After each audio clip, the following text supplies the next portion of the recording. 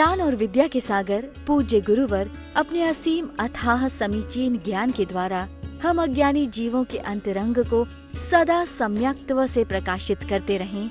इन्हीं भावनाओं के इच्छुक गुरुवर के पावन पवित्र चरणों में कोटि कोटि नमोस्तु। ये भी भाव आपके लिए शाम को जुड़ सकता है और सुबह आप मंगल विधान करें। इस तरह से आप दिन भर अपना खाएँ, पिए एंजॉय करें, कोई दिक्कत नहीं। और सुबह शाम भगवान की आराधना करें। ये आपको दीपावली मनाने का सबसे अच्छा तरीका होगा। समझ आ रहा है ना?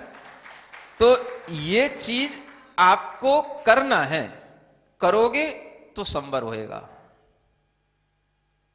करोगे नहीं तो कुछ नहीं होएगा। है ना? तो संवर करने के अच्छे तरीके भी हमारे सामने होते हैं, हमें अच्छे तरीके भी कोई ला करके देता है, लेकिन अगर हम करने की शुरुआत करेंगे तो होएगा। तो इसी तरीके से यहाँ कहा जा रहा है, अपनी बुद्धि को विचार करने के में इतनी चतुर बनाओ कि वह बुद्धि ही हमारे सब दुखों का संवर कर ले, हमें किसी दूसरे की ज़रूरत ना पड़े। और सब दुख बुद्धि से ही आते हैं। विचार करने में इतना चतुर रहो कि किसी से आपको कोई भी परेशानी वाली बात सामने नहीं आनी चाहिए। अगर आपका मन कभी भी दुखी हो तो सीधा भगवान की स्तुति में लग जाओ। चाहे भक्तामर स्तोत्र पढ़ने लग जाओ, चाहे वर्धमान स्तोत्र पढ़ने लग जाओ, चाहे कल्याण मंदिर स्तोत्र पढ़ने लग जाओ, भगवान की स्तुति में लग जाओ। उससे क्या होगा? जितनी देर आप इस स्तोत्र को पढ़ेंगे, ये बड़े बड़े स्तोत्र हैं। इनमें आप मन लगा करके इनको पढ़ने की कोशिश करो। अगर आपने इनमें मन लगा लिया तो जो बाहर का दुख आपके ऊपर हावी हो रहा है, हर समय जो आपको परेशान कर रहा है, वो समय जो है आपके लिए बच जाएगा। उस दुख को थोड़ी देर घुसने की दिमाग में जगह नहीं मिलेगी तो वो भी थोड़ा सा रुक जाएगा, उसका संबर हो जाएगा। उसको रोकना पड़ेगा। वो संबर कैसे होगा? तो जब तक आपके मन में वही दुख का विचार चलेगा, तब तक तो दुख का आश्रव है। और उस दुख को हम थोड़ी देर के लिए रोक दें। तो रोकें कैसे? नींद की गोलियाँ खा के नहीं। भगवान की स्तुति करके रोको, जागृत होकर के। बस, अगर आप आध पौन घंटे उसमें लगा करके रोक पाए, समझ आ रहा है? फिर आपने अरहम ध्यान करना शुरू कर दिया, दस मिनट, पंद्रह मिनट के लिए। इतना अगर आपकी प्रैक्टिस में आ गया तो आपका जो दुख है, वो रुका रहेगा। संभलते रहोगे। जो लगातार आपके ऊपर अटैक हो रहा है, उस बाहर की आशंकाओं का, दुखों का, वो थोड़ी देर के लिए जब थमने लगेगा तो फिर आप भीतर से भी अपने आप को संभालने लगोगे। इतनी देर रुके थे? एक घंटे अगर आप रुक गए तो उस एक घंटे का असर आगे के एक घंटे तक तो कम से कम रहेगा। समझ आ रहा अवश्य रहेगा। और वो असर रहेगा तो वो आपके कम से कम दो घंटे आपके आश्रम को रोके रखा। संबर रहा, यही संबर आपको भीतर से मजबूती देगा कि हर समय पर हमारे दिमाग में वही विचार नहीं चलता, हम उस विचार को रोक भी पाते हैं। अगर आपने दो घंटे, डेढ़ घंटे भी उस विचार को रोक पाया तो आप फ्रेश हो गए भीतर से। सुन रहे हो? ये प्रैक्टिकल संबर करने का तरीका है। भगवान की भक्ति और भगवान का ध्यान।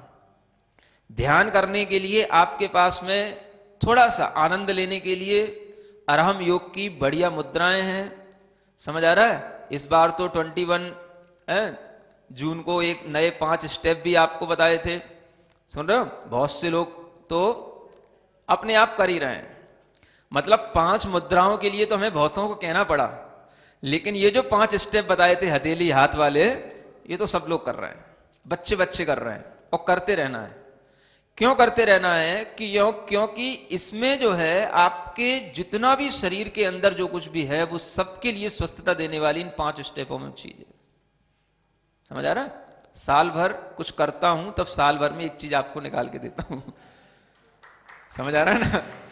तो वो सब उसके अंदर कितना क्या छिपा हुआ रहता है, वो एक्सपीरियंस मैं सब यहाँ पे खोल खोल के नहीं बता सकता। लेकिन वो सब जो चीज़ें हैं, वो सब आपके लिए इसलिए देनी पड़ती हैं कि आप भी अपने आप को स्वस्थ रखो। जब शरीर स्वस्थ होगा, तभी आप अच्छे ढंग से ज्ञान में उत्सुकता दिखाओगे। ज्ञान आएगा तो आप ध्यान की ओर आगे बढ़ोगे। इस तरीके से ये सभी साधन आपके लिए दिए जा रहे हैं। और ये सब साधन इसी अरहम योग ध्यान के माध्यम से दिए जा रहे हैं। तो इन साधनों को अपनाओ। ये साधन अपनाओगे तो संवर के लिए जो मन की शक्ति चाहिए, मन की समर्थता चाहिए, वो आपको मिलेगी। लेकिन आपके साथ होता क्या है? जब तक अच्छा चल रहा है, तब तक तो कोई ज़रूरत है ही क्या हमें? कि आराम योग के पाँच स्टेप करने की, कि पाँच मुद्राएँ करने की, कि मेडिटेशन करने की, तब तक तो कोई ज़रूरत है ही नहीं। अब जब कुछ होएगा, जब नींद उड़ेगी जब चिंताएँ आएँगी, तब सोचेंगे। अब एक बात सोचो, जब तुम्हारी चिंताएँ बढ़ेंगी, नींद नहीं आएगी, तब तुम्हारा एकदम से मन कैसे बन जाएगा आराम योग करने का फिर? समझ आ रहा ना? अगर पहले से करते रहोगे तो क्या होगा? तुम्हारा मन इतना स्ट्रांग रहेगा कि ये छोटी छोटी आशंकाएँ, भय, तमाम तरीके के दूसरों से होने वाली परेशानियाँ, इन सबको मन वैसे ही बाहर फेंकता रहेगा। उसकी नौबती नहीं आएगी। कि नींद उड़ रही है, कि चैन उड़ रहा है। समझ आ रहा है? उसकी नौबती नहीं आएगी। ये सब तो धीरे धीरे आपके अंदर अपने आप उस, अपने मन की समर्थता से आने लग जाएगा। तो सबसे अच्छा तरीका यह होता है कि व्यक्ति जब स्वस्थ है, तब अपने अंदर इस तरीके का मन बना सकता है और तभी उसके अंदर यह मन की मजबूती बन सकती है। रोगी मन को स्वस्थ कैसे बनाया जाएगा? उसको तो स्वस्थ बनाने के लिए बहुत मेहनत करनी पड़ेगी और स्वस्थ बन भी जाएगा तो फिर उसमें मजबूती कैसे आएगी? मजबूती तो स्वस्थ अवस्था में ही रह सकती है। तो पहले से ये सब चीज़ें करने की होती हैं। पहले से करते रहो। करते रहोगे तो इंटरेस्ट बना रहेगा। फिर जब डिप्रेशन में जाने लगोगे, तब पूछोगे, अब क्या करें? तो जब डिप्रेशन में जा ही रहे हो, तब उसको कौन संभाले? गिरने वाले को कौन पकड़ सकता? नहीं समझ आ रहा। गिरने वाले को कहाँ तक पकड़ा जाएगा? गिरने वाले को कौन संभाल पाएगा? वो या तो गिरने के बाद उठाया जाएगा, या भाई गिरे ना, उससे पहले उसको हिदायत दी जाएगी, गिरे मत। गिरने वाले को तो कोई नहीं बता सकता। तो जब आदमी डिप्रेशन में जा ही रहा है तो अब उसको कौन बचाए? अब चला ही जाने दो। अब जाने के बाद जो होएगा, वो देखा जाएगा। डिप्रेशन में न जाए, गिरे न मन उसका इतना, उससे पहले आप अपनी मजबूती बना करके रखो। उसके लिए ये अरहम ध्यान योग है। तो आप इसकी स्वस्थता के साथ इसकी उपयोगिता बनाओ। समझ आ रहा है? रोगियों के लिए लोग ज़्यादा पूछते हैं, भाई, ये रोग हो गया, वो रोग रोगियों के लिए तो ठीक है। रोगी कितना करेगा? लेकिन स्वस्थ लोगों के लिए स्वस्थता बनाए रखने में बहुत ज़्यादा महत्वपूर्ण है। सुन रहे हो? क्या सुन रहे हो? सभी स्वस्थ हैं? बस महाराज आप स्वस्थता का बस आशीर्वाद देते रहो। हाँ, बस स्वस्थ बने रहे हमें कुछ ना करना पड़े ध्यान योग भी करने का क्यों कष्ट उठाए? हम्म? हाँ। तो इस तरह की प्रैक्टिस करने का इंटरेस्ट बनाए रखो, इसी से आपको पता नहीं पड़ता ये दस मिनट हमारे लिए कितने समय तक के लिए, कितने रोगों से बचाने के लिए, शरीर में कितनी एनर्जी देने के लिए काम आते हैं। इसका कैलकुलेशन आपको जब कोई रिसर्च होगी तब समझ में आएगा। समझ आ रहा ना?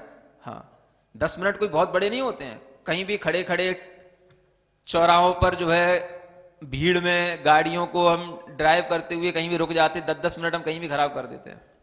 समझ आ रहा है ना? और जहाँ हम दस मिनट की उपयोगिता बनाना चाहें तो बस शुरू हो जाओ, ओम अरहम नमे, ओम अरहम नमे, बस। ये मत सोचो सामने वाला क्या सोचेगा, क्या कहेगा, क्या करेगा। वो भी देखेगा, वो भी वैसा ही करेगा। वो कहेगा, भाई, आप क्या कर रहे हो? बोले आराम यो कर रहे हैं। कैसे कर रहे हो? बोले, ऐसे ही किया जाता है। तो मैं भी कर लू? हाँ तुम भी कर लो। समझ आ रहा ना? इससे बढ़िया चाय क्या होगी दूसरे को पिलाने वाली? तू भी पी ले। तो ऐसे अगर हमारे अंदर इंटरेस्ट बने, समझ आ रहा और हम दूसरों के अंदर भी इंटरेस्ट डालें। मैं पी रहा हूँ? तू भी पी। हाँ एक बार तू पी के देख ले। फिर तेरा मन में आए तो आगे पूछ लेना, मैं तुझे बता दूँगा। नहीं मन में आए तो कोई बात नहीं। कौन पैसा ले रहा हूँ समझ आ रहा है? जितने जॉइंट्स पेन होते हैं, आजकल सबको होने लग गए। समझ आ रहा है ना? जॉइंट्स पेन जो होते हैं, ये सब जो अभी हाथ की क्लैपिंग वाली जो मुद्रा बताई हैं, इन सबसे आपके जो उम्र के साथ होने वाले ये दर्द आपको अब होने ही वाले हैं, कोई सी उम्र में हो। समझ आ रहा है? अगर आप एक अच्छी युवा की उम्र में भी हैं तो भी आप समझ के रखें, सर्वाइकल एक आम बीमारी है। समझ आ रहा है? क्योंकि बच्चे किसी भी तरीके से कहीं पर भी लैपटॉप पे काम करते हैं नेट पर बैठते हैं बहुत देर तक, किसी भी तरीके के मोबाइल पर जुड़े रहते हैं, गर्दन एक जैसी हमेशा बनी रहती है सर्वाइकल आम बीमारी है। और अगर आपका काम ज़्यादा देर तक सिटिंग करने का है तो पीछे की कमर पर भी उसका असर पड़ने वाला है। ये सब पेन से राहत दिलाने के लिए ये पाँच चीज़ें जो आपको बताई बहुत ही बढ़िया हैं। समझ आ रहा है? और पेट की बीमारियाँ तो सब उसी से करते रहो। समझ आ रहा है ना? खुश होकर के करो, है? और 10 मिनट तक बस स्टेप बदलते रहो ओ मरम नमे का जाप करते रहो, फिर आप देखो आपके लिए कितना कुछ आपके मन में मजबूती आती है। ये किसके लिए? कोरोना का संबर करने के लिए। है ना? रोगों का संबर करना, ये भी तो संबर करना है। तो ये संबर आज तो एंड भी करना है है ना? तो देखो क्या कहते हैं आचार्य विहाय कल्पना जालम स्वरूपे निश्चलम मने, यदा धत्ते तदैव श्यान मुने परम संबर है ना? अब ये तो मुनि महाराज का परम संबर माना उत्कृष्ट संबर कब होता है? जब हमारा मन निश्चल होकर के सभी प्रकार की कल्पना जालों को छोड़ करके अपने ही स्वरूप में स्थिर हो जाए तो परम संबर की दशा हो जाती है। ये परम संबर है। मन का पूर्ण संबर कब हो गया? सब प्रकार की कल्पनाएँ छोड़ करके, कोई कल्पना नहीं। कल्पना माने? किसी का नाम नहीं है? हाँ कल्पना माने जो तरह तरह की फ्यूचर प्लानिंग इमेजिनेशन तरह तरह के जो है फियर डाउट जो अपने मन के अंदर जो चलते रहते हैं, वो सब छोड़ करके, समझ आ रहा ना? उन सबको दूर करके, विहाय कल्पना जालम। ये कल्पनाओं के जाल बुन जाते हैं। समझ में आ रहा ना? नेट कहलाता यही। नेट माने क्या होता है? हाँ ये कल्पना का जाल होता है। एक जाल में हम घुसे तो उसमें से दूसरा, दूसरे से तीसरा वो चलते ही चला जाता है। समझ आ रहा है ना? तो वो नेट हमारे दिमाग में चलता रहता है। नेट तो इन्वेंशन बाहर बाद में हुआ है, पहले हमारे दिमाग से निकला है वो। तो हमारे दिमाग में वो नेट चलता है, कल्पनाओं का। ऐसा होगा, फिर ऐसा होगा, ऐसा करेंगे, ऐसा नहीं हुआ तो ऐसा करेंगे, वैसा करेंगे, ऐसा करेंगे। और इसमें घंटों निकलते हैं। समझ आ रहा है? तो ये सब छोड़ करके निश्चिंत बैठो। क्या करो? अपने मन को बिल्कुल निश्चल बनाओ, स्थिर बनाओ और कहाँ लगाओ? अपने आत्म स्वरूप में लगाओ। कैसे लगाओ? सोहम, अरहम, शुद्ध चैतन्य स्वरूपो हम बस अपने आप स्वरूप में लगाओ। ये जब स्थिति बनेगी तो इसी का नाम है परम संवर। सुन रहे हैं? यही परम संवर हमारे लिए सब प्रकार के दुखों से मुक्त करने के लिए साधन है। और इसमें हम जितना जितना सफल होते चले जाएँगे, उतना ही हमें बाहर के संसार के दुखों से मुक्ति मिलती चली जाएगी। इसमें प्रयास करना पड़ता है। ध्यान ही वो चीज़ है जब आदमी थोड़ी देर अपने पास होता है। अन्यथा वो अपने पास होता ही नहीं है। जिसने कभी ध्यान नहीं किया, वो कभी अपने पास में बैठा ही नहीं। उसे पता ही नहीं कि मैं हूँ कौन। उसे पता ही नहीं कि मैं किस लिए जन्म लिया हूँ, मैं क्या हूँ, जिसने ध्यान नहीं किया। उसका जीवन सबसे अभिशप्त जीवन है, जिसने कभी ध्यान नहीं किया। समझ आ रहा है? योग से भी आगे एक चीज़ है, ध्यान।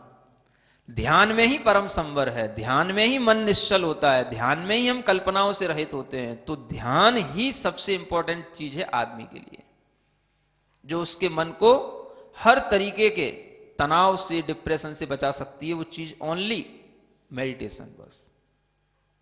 जो व्यक्ति जितना इसकी प्रैक्टिस करेगा, उतना भीतर से सही रहेगा। हृदय की गति उसकी बराबर रहेगी। कई बार जब हमारी हृदय की गति धड़कन तेज होती है, चिंताओं से हम परेशान होते हैं तो हमारे शरीर में हमारा हृदय जो डैमेज होने लग जाता है, हमें पता ही नहीं होता। किससे ठीक होगा? अगर ध्यान करते होगे तो उस समय पर आपकी पल्स नॉर्मल होती है। समझ आ रहा है? ये जो बॉडी के अंदर जो जो मतलब एक केमिस्ट्री चेंज होती है, वो बता रहा हूँ। जिस समय आप मेडिटेशन करेंगे, आपकी पल्स केवल उसी समय नॉर्मल होगी। अदर किसी एक्टिविटी में आपकी पल्स नॉर्मल होती नहीं। हाँ।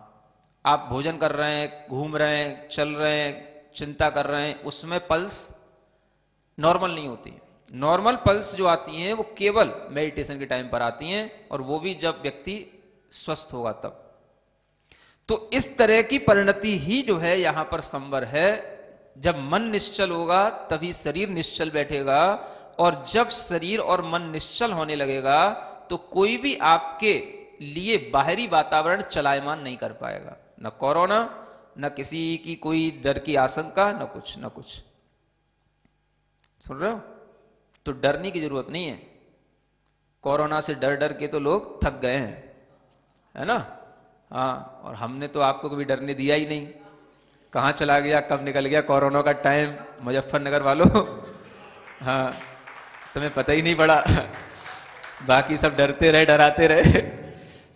और हम तुमको बस खिलते, खिल, ऐसे खेलते खिलाते रहे। और कोरोना का डर निकल गया। अब तो आदमी परेशान हो गया। अब नहीं डरना किसी से। समझ आ रहा है ना? तो जो आपके लिए क्रिटिकल टाइम था, वो तो निकल गया।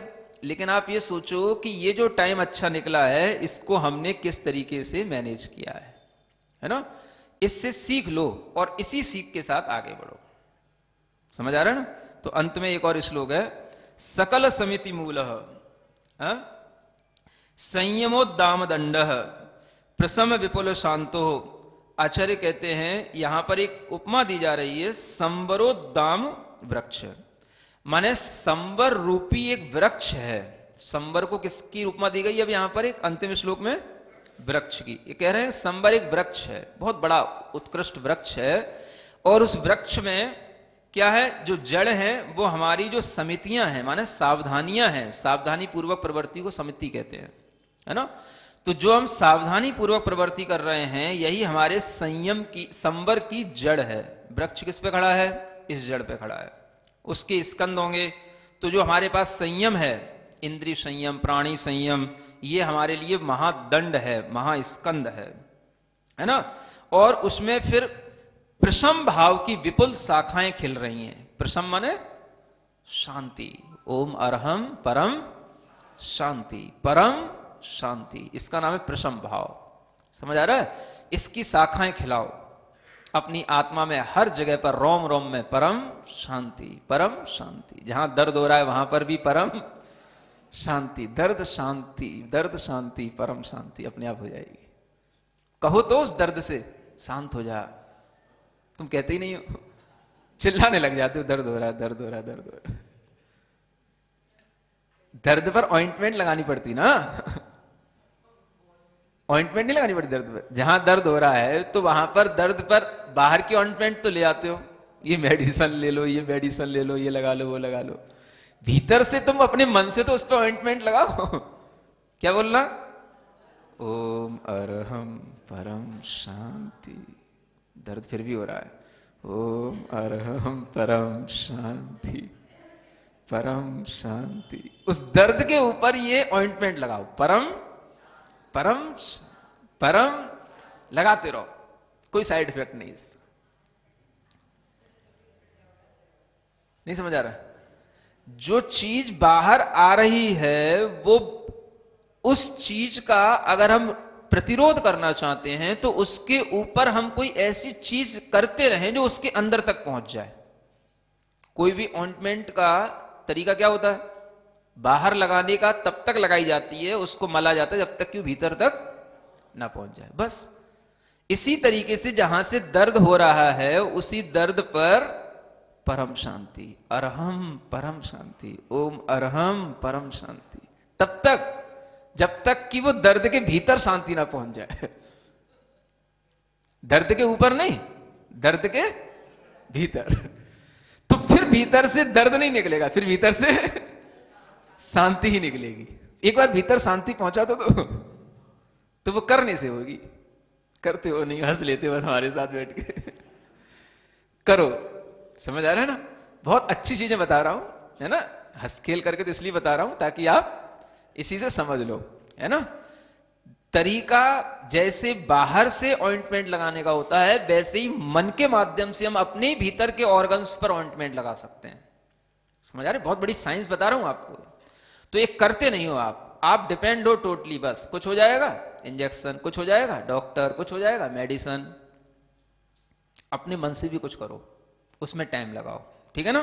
तो ये प्रशम की शाखाएँ। और क्या कह रहे हैं? धर्म पुष्पाव किरणम। यानी अब फिर शाखाएँ होंगी तो उस पर फूल खिलेंगे।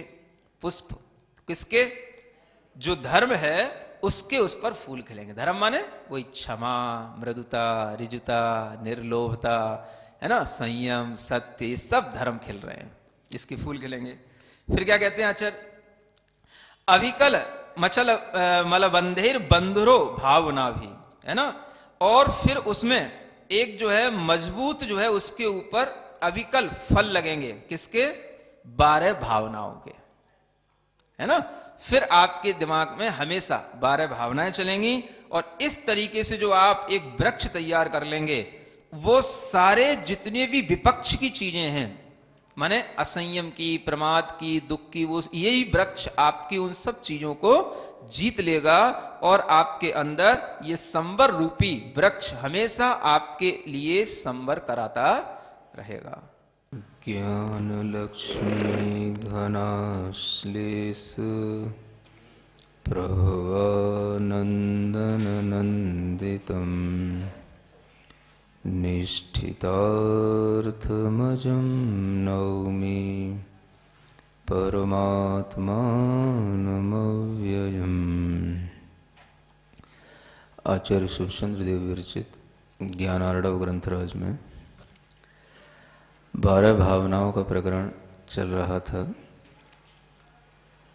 आज निर्जरा भावना प्रारंभ होती है। इससे पूर्व में आप अनेक भावनाओं का स्मरण कर चुके हैं।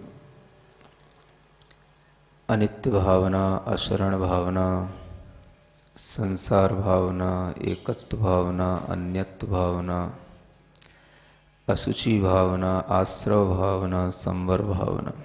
कितनी हो गई? आठ हो गई। यह नौवीं भावना है, जिसका नाम है निर्जरा भावना। निर्जरा किसे कहते हैं? निर्जरा क्या होती है? निर्जरा क्यों की जाती है? और निर्जरा की क्या उपयोगिता है? यह सब चीज़ें इस भावना के माध्यम से समझी जा सकती हैं। आचार्य श्लोक के माध्यम से वर्णन करते हुए कहते हैं, यया कर्माणि शीर्यन्ते, बीजभूतानि जन्मनः प्रणीतायमिभिसेयम् निर्जरा जीर्णबन्धनैः। ऐसी आत्माएँ जिन्होंने अपने बंधन को जीर्ण कर दिया, नष्ट कर दिया। ऐसी आत्माएँ जिन्होंने अपने अंदर के सभी प्रकार के कर्मों के स्थिति, अनुभाग के बंध को तोड़ दिया।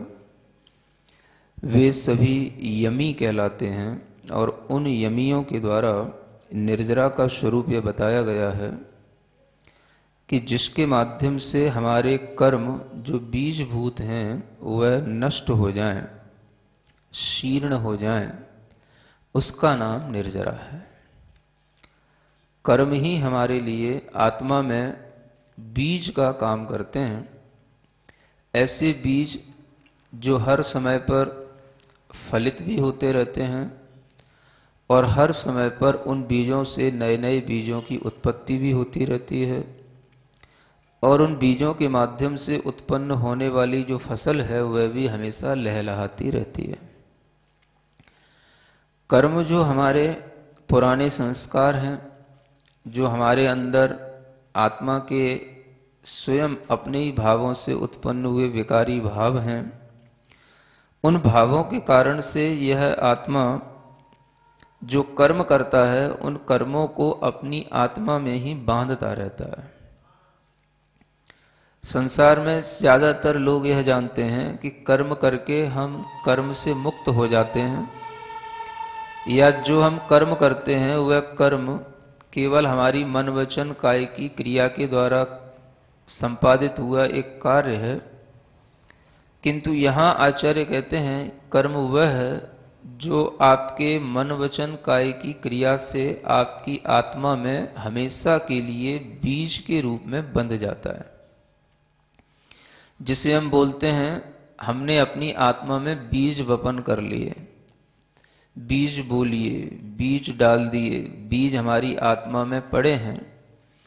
उन कर्म बीजों को जिस तरह से बन सके, उस तरह से नष्ट करना। उन कर्म बीजों को जीर्ण करना, शीर्ण करना, इसका नाम है निर्जरा। संस्कार के रूप में जो कर्म हमारे अंदर हैं वह कर्मकृत भाव हैं, लेकिन वास्तव में वह कर्म जो कोई ऐसा नहीं है कि वह हमारी एक कल्पना हो या धारणा हो। कर्म एक वास्तविक स्थिति को लिए हुए आत्मा से बंधे हुए एक पौद्गलिक ऐसे पदार्थ हैं, जिसके माध्यम से आत्मा अपने गुणों को पूर्ण प्रकट नहीं कर पाती। और उन कर्मों के कारण से उस आत्मा के सभी गुण बहुत थोड़े थोड़े से, आधे अधूरे से प्रकट होकर के हमारे लिए फल देते हैं और उसी से हम कुछ जान पाते हैं, कुछ देख पाते हैं, कुछ समझ पाते हैं।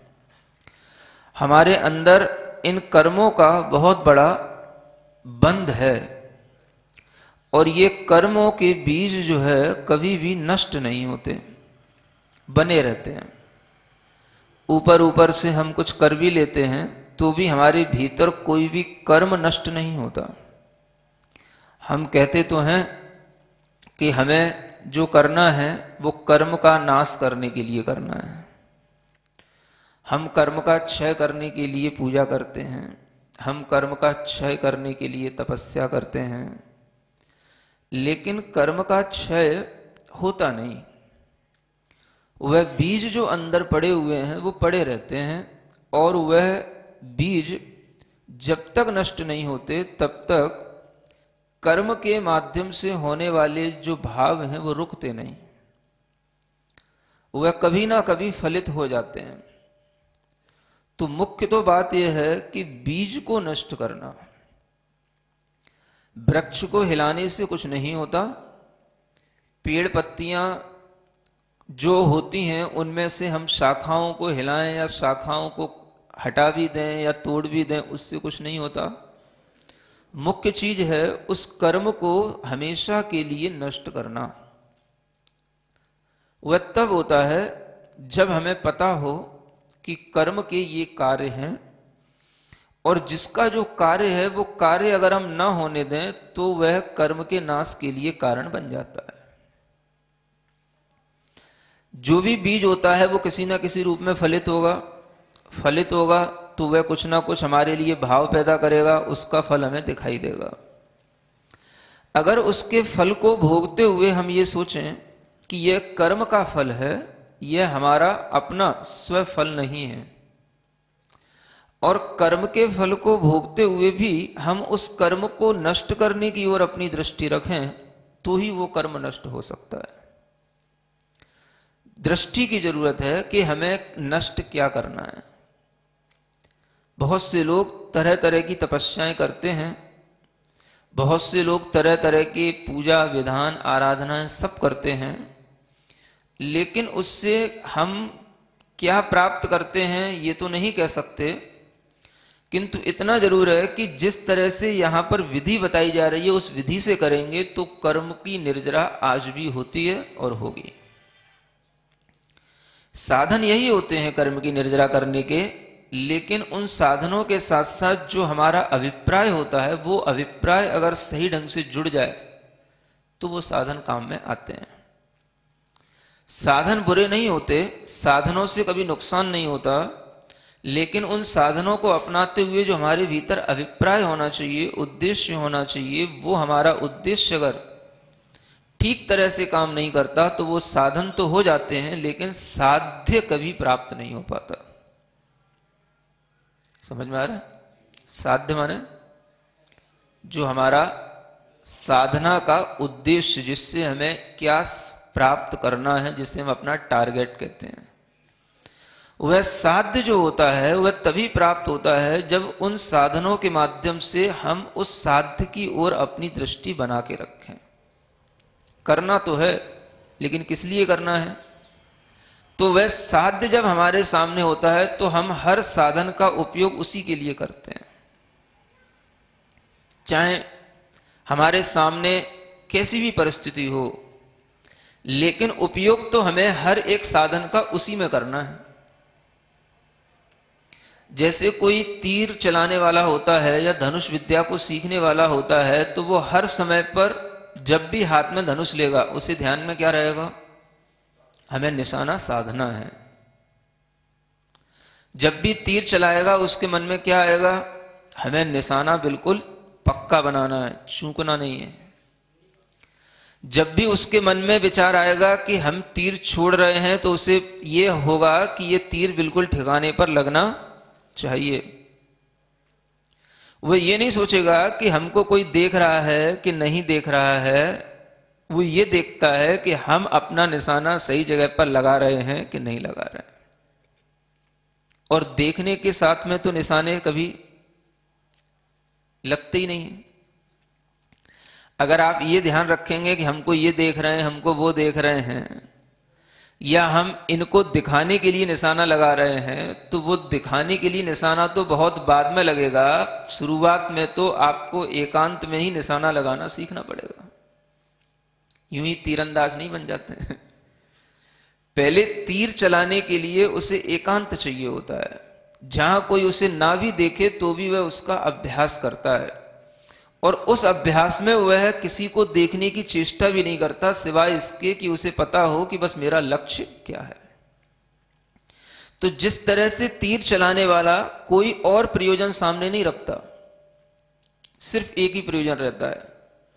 मुझे एकांत में भी, लोगों से रहित होकर के उस स्थान में भी अपने निशाने को साधना है, ये मेरा उद्देश्य है, मेरा प्रयोजन। है और जब उसका ये प्रयोजन उसके दिमाग में रहता है तो हर समय पर वो चाहे अगर तीर नहीं भी चला रहा होगा, धनुष को भी अगर बना रहा होगा, या उसको भी कोई शेप दे रहा होगा, या तीर को भी कोई पहना कर रहा होगा, या तीर को भी कोई शेप दे रहा होगा तो भी उसके दिमाग में ही घूमता रहता है, इसको वहाँ लगाना है, वहाँ टकाना है, वहाँ मारना है। समझ आ रहा है? वह होना चाहिए, बस पेनेपन का भाव। जो हमारा उद्देश्य है, उस उद्देश्य पर यदि हम टिक जाते हैं तो फिर हमारे सामने कुछ नहीं भी होता है तो भी उपलब्धि उपलब्धियाँ हमको होती हैं। सुन रहे हो? आपने महाभारत में एक प्रसंग ज़रूर पढ़ा होगा, सुना होगा। महाभारत में जो हिंदुओं के माध्यम से बताया जाता है, उसमें एकलव्य की एक घटना आती है। और कुछ जैन आचार्यों ने उसी एकलव्य का नाम क्षीर कदम्ब के नाम से बताया है। किसके नाम से? हाँ। एक शबर है। शबर माने मतलब कि म्लेच्छ जाति का एक व्यक्ति है। और उसके पास किसी भी तरह का कोई साधन नहीं है। आदिवासी जिसे म्लेच्छ बोलते हैं, बहुत ही निम्न जाति के, वह अपनी उत्पत्ति जहाँ पर हुई है, वहाँ पर किसी भी तरह के उसके पास कोई साधन नहीं है, कुछ भी नहीं है, लेकिन बस उसके अंदर एक भाव आ गया कि मुझे सीखना है। क्या सीखना है? तीर चलाना सीखना है। और तीर चलाने में जो धनुर्विद्या होती है, वो धनुर्विद्या का मुझे अभ्यास करना है। वह धनुर्विद्या का अभ्यास कैसे करें?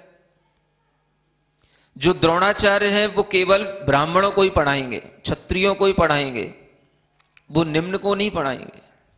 ये ख्याति है उनकी। उनके पास जाएँगे भी तो वो लौटा देंगे, वो नहीं पढ़ाएँगे, वो रखती नहीं है। पढ़ाने से पहले परीक्षा ली जाती है, जाति पूछी जाती है। निम्न जाति का है तो उसको पढ़ाने के लिए वह कभी तैयार ही नहीं होंगे। लेकिन उसे पढ़ना है, उसे विद्या सीखना है।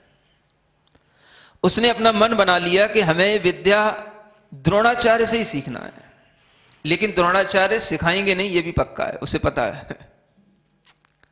और वह मन बना करके बस उसने नाम सुना है द्रोणाचार्य का।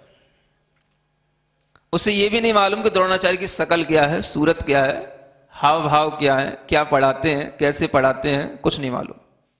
ज्ञान और विद्या के सागर, पूज्य गुरुवर, अपने असीम अथाह समीचीन ज्ञान के द्वारा हम अज्ञानी जीवों के अंतरंग को सदा सम्यक्त्व से प्रकाशित करते रहें। इन्हीं भावनाओं के इच्छुक गुरुवर के पावन पवित्र चरणों में कोटि कोटि नमोस्तु।